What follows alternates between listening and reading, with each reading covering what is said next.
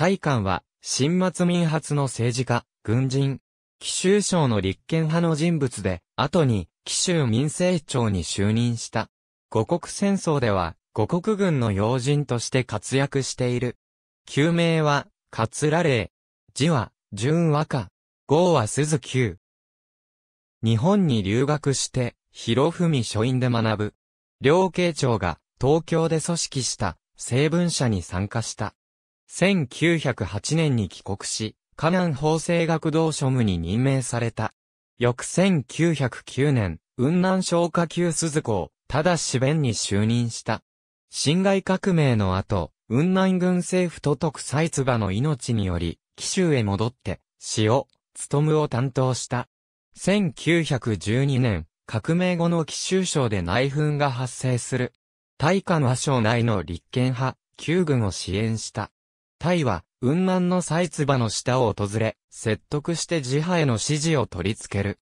さらに、天軍の統次、行を、紀州入りさせて、対立勢力である紀州の革命派、新軍を粛清した。同年4月、党が正式に、紀州都督に就任すると、タイは、都督府左三三に任命された。以後、紀州実業市市長、県中観察使を歴任している。1913年6月、党が雲南都督に移動して、劉健与が紀州森軍師となると、タイは紀州民政庁に就任した。同時期に進歩党に入党し、理事に就任している。1915年、遠征外が皇帝即位を計画する。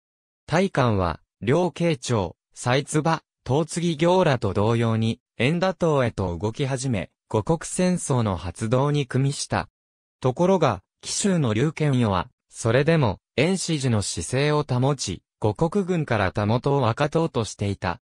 そこで、大官は、紀州軍実力者、大文化と共に、劉への牽制、圧力を強め、翌年1月27日に、ついに劉に、紀州独立を宣言させるに至った。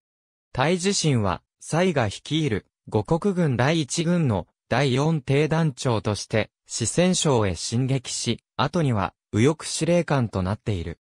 3月22日に、遠征外は、皇帝即位を取り消し、6月6日に死去して、五国戦争は、五国軍の勝利に終わった。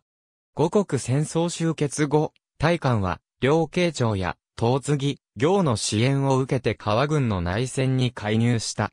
この後、四川省の統治権をめぐって、雲南軍の羅ハイキン、川軍の劉有圧との三つどもえの構想となる。1917年4月には、タイが、四川省庁権特軍として、生徒を掌握した。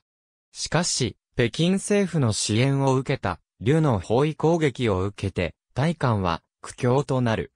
大官は密かに生徒から脱出したが、川軍の副兵に、忍術献身工事で包囲されてしまう。最後は銃により自殺した。去年39。